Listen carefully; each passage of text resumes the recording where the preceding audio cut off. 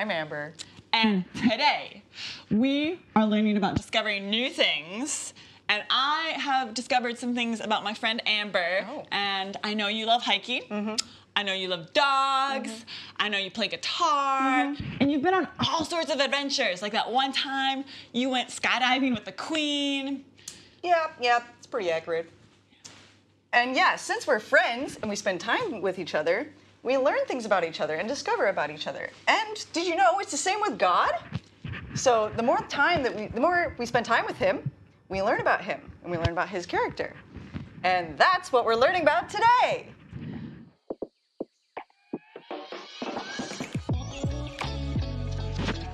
All right. You know what's fun? What? Discovering new things. Oh, dude, and you know what's even more fun? What? Discovering new things and getting messy. And that's what we're gonna do next. We've Oh, got yeah. a messy game planned. Oh, yeah. So get ready. That's why we've got updos, because it's gonna get intense. so for this game, we've got these two plates here that have a secret message written on this side. So Amber and I are each gonna take a plate. We're gonna put some kind of messy ingredients on top of that plate to cover the message. Then we'll give the plate to each other and we'll have to lick off the ingredients to reveal the message. Oh wow. Oh That's wow. the game. Here we go. So, your mission at home, wherever you are, you need to choose who you think is gonna win this game. So, who's gonna lick all the ingredients off the fastest? If you think it's gonna be Amber, clap your hands. If you think it's gonna be me, stop your feet. Okay, so make your choices. We're gonna prepare these plates. Okay. I'll do mine first. You go first? Okay. You go sing a song in the Okay, corner so okay, that I'm not do listening. know.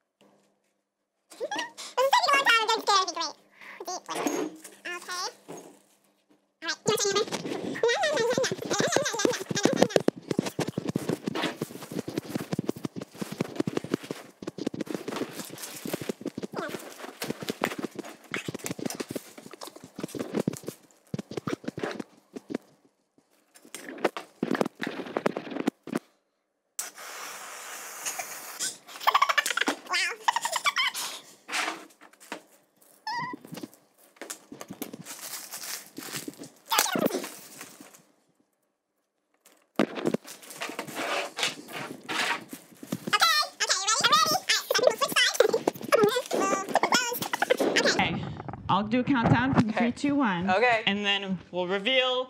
And we need you guys to cheer for us. We need to hear your cheering. We need to hear them. Hear All the right. clapping, hear the stomping. Okay, More Amber, you clapping. ready? Maybe. Three, two, one. oh my gosh. Uh, Oh wow.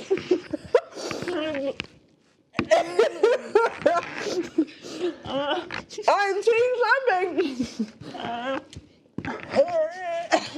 oh my gosh. Uh, Uh, mhm. All right. I got it, I got it, I got it, I got it, I got it, look, look, look, no, dude, come on. All right. Who won, guys? Wow. I think it was Amber. and Amber, can you guess what the ingredients are? Wow. I'm thinking, ooh, some like sweet chili, something. Yes? yes? It tastes kind of mayonnaisey, but it's not mayonnaise colored. no. I don't know. It's something you'd put on your ice cream Oh. sundae, and it's not chocolate, but sometimes you might have a brown. Caramel? Yes, caramel sauce, Oh. and it's something a little spicy. Yeah, there's something a little nippy in there. It's Nando's piri piri salt. Oh, whoa. Alrighty. Great. Um, and I had some lovely. I think I had what we'd call it spaghettios, or just like what do you call these? yeah, yeah. It's just spaghetti. spaghetti. Some spaghetti. spaghetti, whipped cream, sprinkles, and I mean these are actually my favorite. The Swedish fish. Yeah, boy. All right, so that's our our messy game. So, getting messy is fun. But you know what's also fun? Watch it!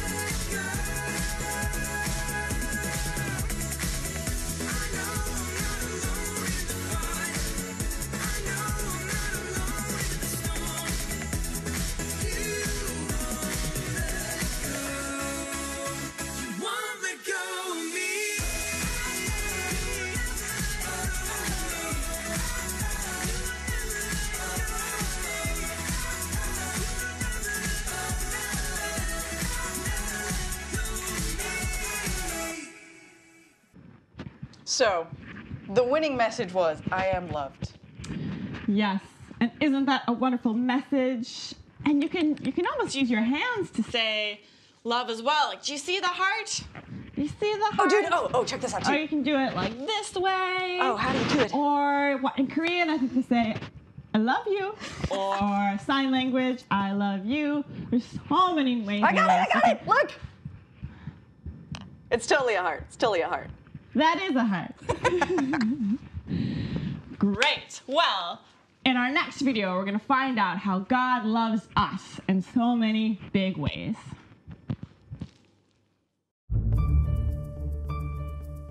The temperature is 75 degrees. The temperature is 75 degrees. The temperature Mike, is that is the 10th time you checked the 75 temperature degrees. in the past two minutes. I, I know, I'm sorry. I just. My sister's coming to visit and she said she was bringing a surprise and to make sure it was exactly 75 degrees. Okay, but you don't have to check it so much. It won't change that fast. Yeah, you're probably right. The temperature is 76 degrees. Oh no! I have to check the humidity! No, Mike, that's not the. Oh, I don't know about the humidity, but the funk factor is off the charts.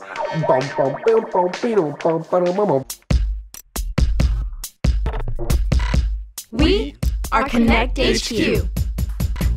Every day we help the people of the world live God's way. We look for the links, make the connection, and you never know what might happen.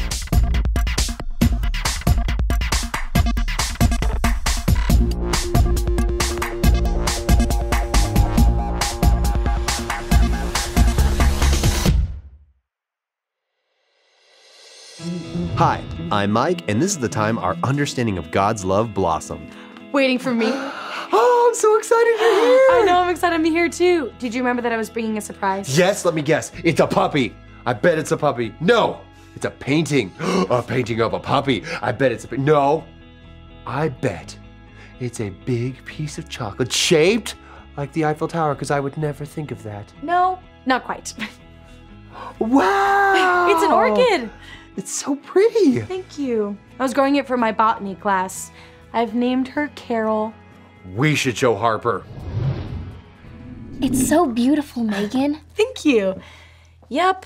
Carol and I do all kinds of things together. We listen to music, we watch baking shows. Her favorite is the Ultimate Cupcake Challenge. yeah, I take Carol pretty much everywhere I go, but I have to be really careful because this type of orchid is really rare and expensive. Maybe Carol can help us. I got a message from the field office in Chicago before you guys came in. Oh, well, what did it say? I took some notes. We'd be happy to help. Great. Okay, let me see. He said his name was Carson, and for the third time this month, he left his lunchbox in the car when his mom dropped him off at school.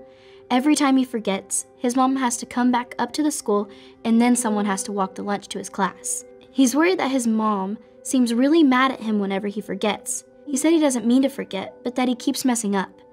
He's wondering if anyone is still going to keep loving him if he keeps messing up, and that maybe he's just too hard to love.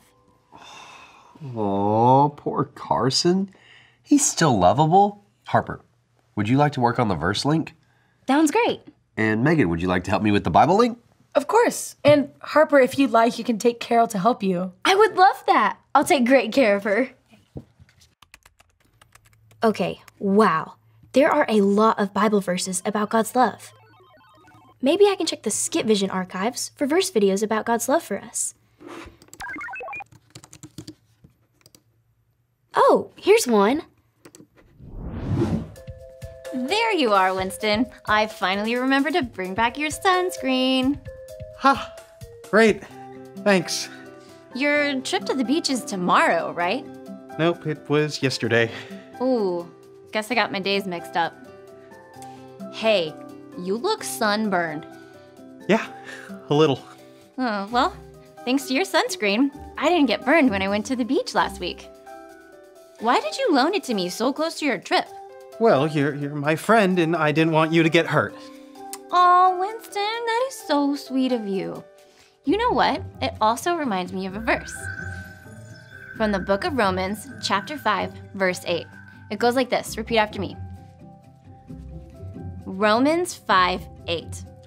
Romans 5 8. But here is how God has shown his love for us. But here's how God has shown his love for us. While we were still sinners, While we were still sinners, Christ died for us. Christ died for us. God loves us so much that even though we didn't deserve it, even before we could say sorry for the wrong things that we've done, He sent Christ to take our punishment. That is a lot of love. Thanks again, Winston. Quite the guy. Wow, God loves us so much, even when we mess up. Romans 5 8. But here is how God has shown his love for us. While we were still sinners, Christ died for us. The verse link is Oh no! Oh no, no, no, no, no! Megan is gonna be so mad! She won't want to be friends with me anymore, or talk to me! Neither will Mike, or anyone! Oh no, no, no, no, no, no, no, oh no.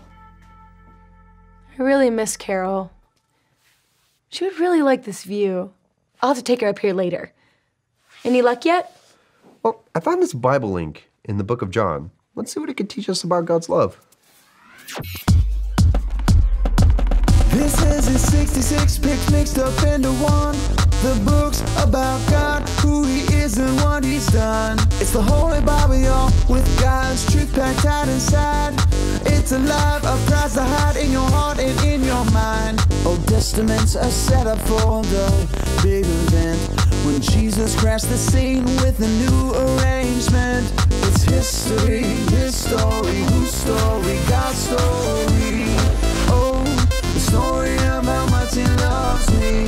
Let it blow up all the pages, let this show go on. Let his word explode from this video into your life. Long ago, there lived a man named John. He was known as the disciple who Jesus loved.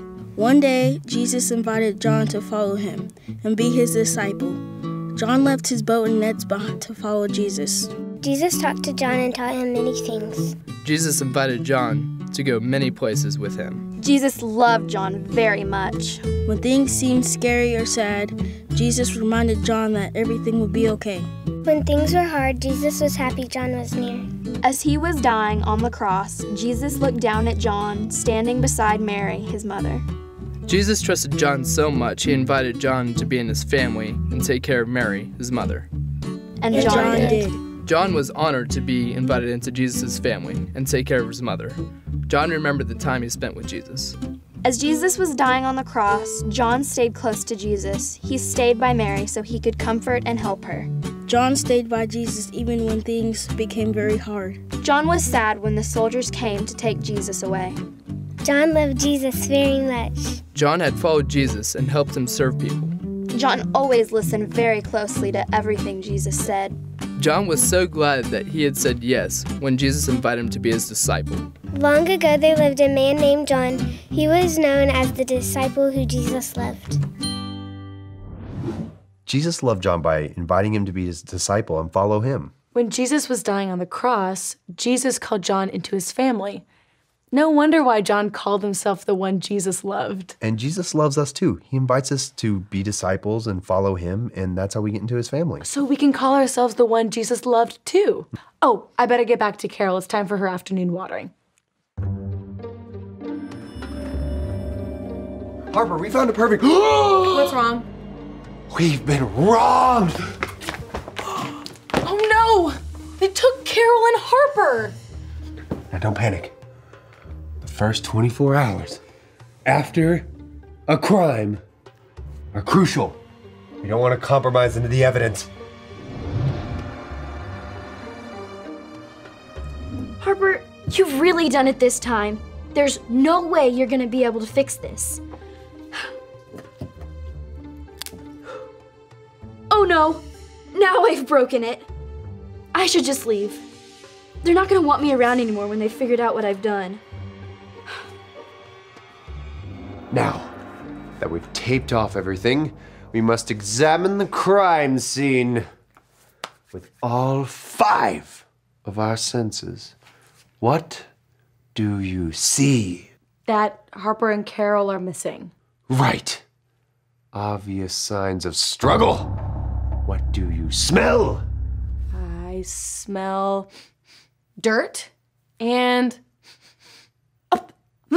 Oh! Sorry. Right. You smell dirt and sorry. That's a clue. What do you hear? Um, nothing? That's a clue. Now, what do you feel? Sad and. and scared. But what do you feel with your fingers? They feel sad and scared too. Right. That's a clue. Now, what do you taste? Um, hmm, gummy bears. That's a clue. How is that a clue? We both like gummy bears. Man, I'm stumped. Look, there's a trail of dirt leading back out the door. Maybe we should follow it. Ah, yes! Elementary, my dear Megan. That is a clue. We should totally follow it.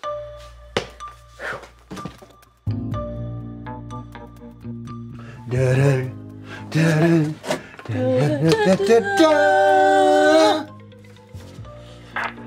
come in. Over. Megan here. The lounge appears to be deserted. Over. Any signs of activity? Over. Affirmative. It appears that we're looking for someone who enjoys drinking dirt. Over. Roger that. Who's Roger?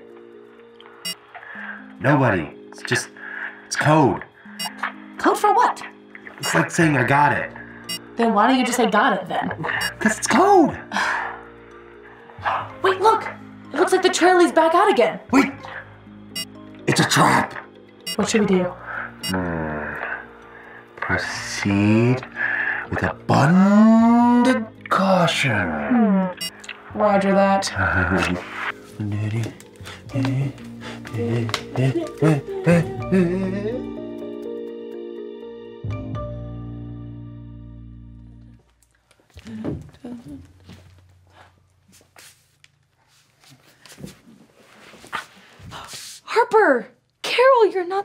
stolen.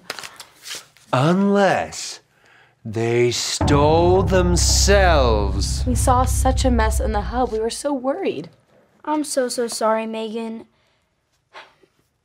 I knocked Carol off the desk when I was trying to practice the verse link. And then I tried to fix it, and it broke even more.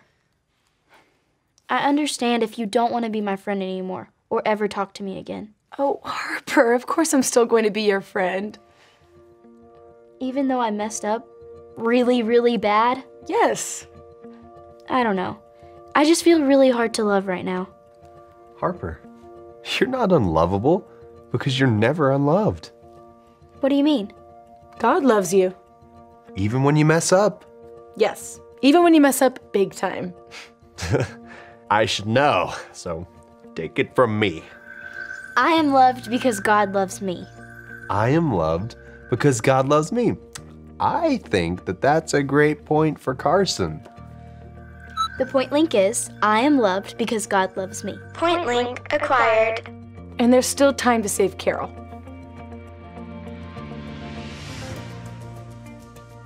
Perfect. So you thought you'd broken Carol, but the really cool things about orchids is that one orchid could be made into two orchids. Wow, that's awesome. And it looks great. Harper, you're a natural with plants. You should have one for yourself. Here. Thank you. I love it. Now I just have to come up with a name. Oh, I love naming names. That's my favorite part. All right, uh, Bubblegum, Mr. Whiskers, Rambo, Rambo 2.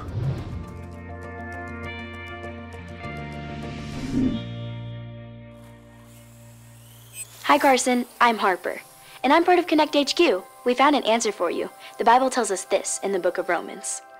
You ready? Ready. Oh, okay. Romans 5 8. But, here is how God has shown his love for us. While we were still sinners, Christ died for us. Jesus shows his love for us just like he loved John. He invites us to be his disciples, to follow him, and to be a part of his family. I thought I was unlovable because of my mistakes with the orchid. Before you know God, you might believe lies that tell you that you are unlovable or unwanted. You may even think you should run and try to hide from God, just like I try to hide. But Megan and Mike searched for me, like Jesus seeks us out. And Megan showed me how to fix the plant, just like God can take our brokenness and replant it into something even better. God loves us, even though we make mistakes. You never have to wonder if you are loved or lovable, because God showed us how much He loves us by sending Jesus to take our punishment and dying on the cross. I am loved because God loves me. Carson, even though you messed up, you are always loved by God. No matter how many times we mess up, God will always love us. Thanks for your question, and remember, Connect HQ is here to help you. Okay. So, today we learned that to get to know God, you should get to know God so you can learn who you are, get to know you. And don't believe, don't believe a lie like, I'm not loved, no one loves me. Believe God's truth that God loves you and he will never stop loving you. That's a really good message, Amber. Yeah, so this week, as we go back to school, you can think about, you know, wherever you are, whatever you're doing, that God loves you. Oh, that's fantastic. All right, so we're gonna end with a little prayer time and then say our goodbyes. Yeah. All right, so we'll just pray together now. God, we thank you for your love and how you love each of us in such an amazing and unique way. And pray that as we go forward, as we return to school, we can feel that love from you and we can love others as well. Amen. Amen. So, Amber, do you have any other upcoming adventures with the Queen planned? Oh, Perhaps bungee jumping? Dude, dude, we're going bungee jumping. Oh, right on. I'd love to see the pictures. Oh, I'll send them. But so, it's been a blast hanging with you guys. We'll see you next time. Bye.